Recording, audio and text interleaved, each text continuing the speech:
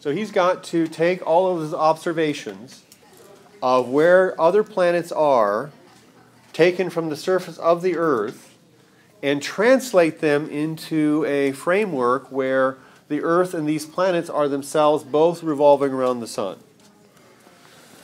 So he, knows that uh, over the course of a year, uh, the Earth will have come around a complete circle, a complete orbit around the Sun.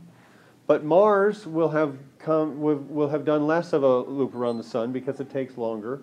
And so this year, uh, the angle to Mars was there. At this same time last year, the angle to Mars was there. It's got to take all of those data, translate them into a, a, an axis where the sun is at the center of the universe, and figure out by hand, because there were no calculators, there were no computers, whether those dots for where the Earth, where Mars was a year ago versus this year versus you know two years ago, do those all line up on a circle? Is Mars going around the sun in a circle or not? And he's able to tell that no, there's no circle I can put Mars's dots on that will fit these data. It's got to be something else. It has to be an ellipse. And um, I mean, it's just mind blowing that the guy uh, was able to do this. Um, was not a was not an easy life, uh, and he contributed a lot to us uh, through that. Um, so, I mean, the first and second laws came first. Actually, uh, Kepler created his second law before he formalized his first law.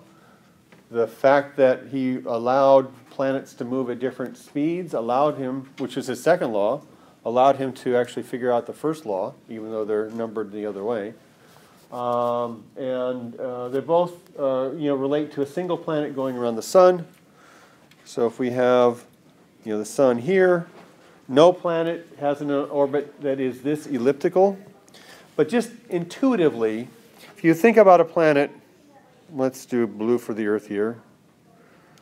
When, when the Earth is here at this point in its orbit, it's basically its orbital vector is pointing off in this direction. We now know that what's driving this is the gravitational attraction from the sun. So, what is the sun going to, um, what effect is the sun going to have on the planet Earth as it is at this point? It's going to be the gravitational pull of the sun is going to be pulling on the Earth in this direction. Maybe I'll make this black. Which is um, a combination of pulling the Earth in toward the center of the ellipse and also pulling it forward a bit. So basically, anywhere along here, you know, if you think if you do the same thing with the Earth over here, where it's orbital velocity is pointing off in that direction. What impact the sun is going to have is going to be pull it this way, which is going to be pulling the Earth in and forward. Basically, anywhere along here, the Earth is going to be speeding up. It's going to be going faster and faster until it reaches this point, which is known as what? Point closest uh, to the sun perihelion.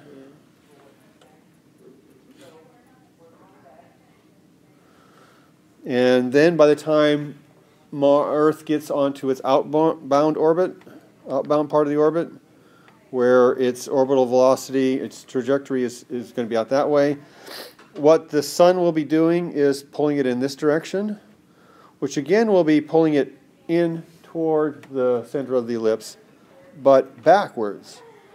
So it's going to be going slower and slower and slower as it's going on this outbound part of the trajectory until it gets over here to aphelion. Okay. so, I mean, you can memorize the law, first law that planets go around in an ellipse and that they go fastest when they're closest to the sun. But this is why they're going around in an ellipse because their orbit is constantly being pulled in by the effect of gravity, and that's going to bend the orbit around in this elliptical path. And basically, you can consider the aphelion being the top of the hill. Like if you threw a ball up, it would go slower and slower and slower as gravity's pulling on it until it reached a high point where it would be stopped, and then it would be going faster and faster coming down. So slow out here, and then faster and faster and faster over here. So I think for most students, the first and second laws are more straightforward. Okay? I can draw an ellipse. I can remember faster when it's closer to the sun because sun's pulling on it more. You know, something along those lines. The third law is more difficult, but um, it's really critical in a couple of ways.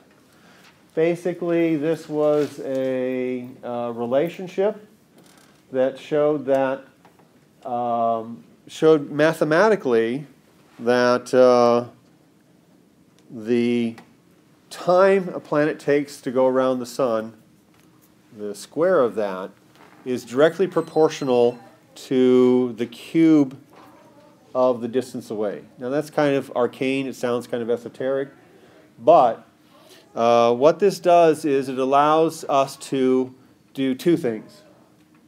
It allows Isaac Newton to come up with his law of gravitation because he was then able um, to show mathematically that the gravitational pull of the sun is what was involved in that proportion. And that's uh, more than we want to cover in, uh, in the class here. But it also helps provide a yardstick for the solar system. If we know that uh, Mars takes 1.88 years to go around the Sun, then its orbit is about 50% further out from the Sun than the Earth. So the third law of uh, planetary motion basically allows you to define the orbital period and the distance for all the planets based on what's going on in the Earth. So, you know, Earth takes one year to go around. Earth is one astronomical unit away from the Sun. Uh, all the other planets line up in this relationship based on that mathematical proportion.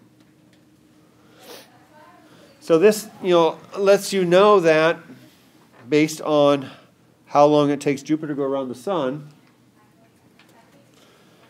it's about five times out further out from the sun than the Earth is.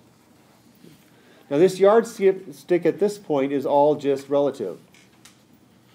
You know, Mars is not quite twice as far away from the sun as the Earth. But if you can measure any one of those distances absolutely, then you've got everything. And uh, we won't have time to take a look at the video, but basically, uh, there were there was an international project back in the 1800s to measure the transit of Venus across the sun from different locations on the Earth and by triangulating when Venus touched and left the sun from the different locations on Earth, that allowed uh, astronomers to determine the distance between Venus and Earth. It's a straight kind of parallax. If you uh, you hold your thumb out and you close on, open up one eye, and, and, and it kind of moves back, your thumb will move back and forth across the background.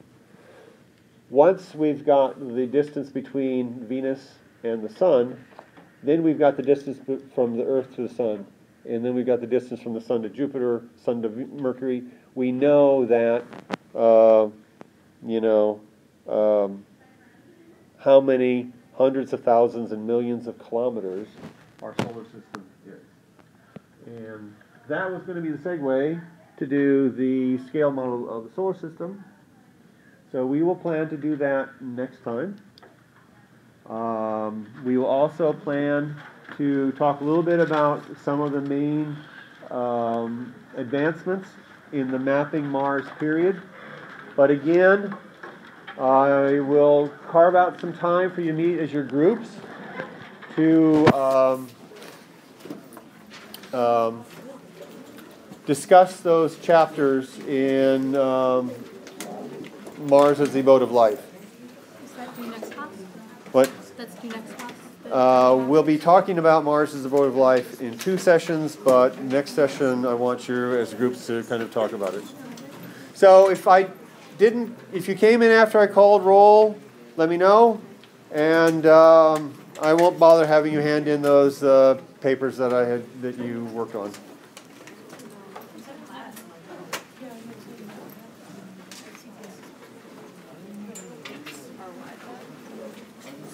So Charlie or Felix or Elaine, Milo. Milo. Okay.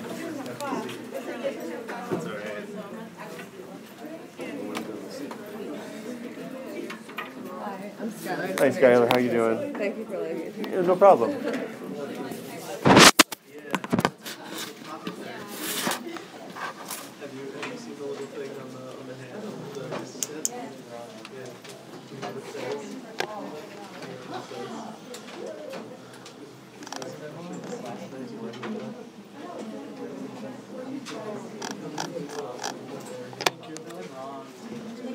Hey, you too. Take care.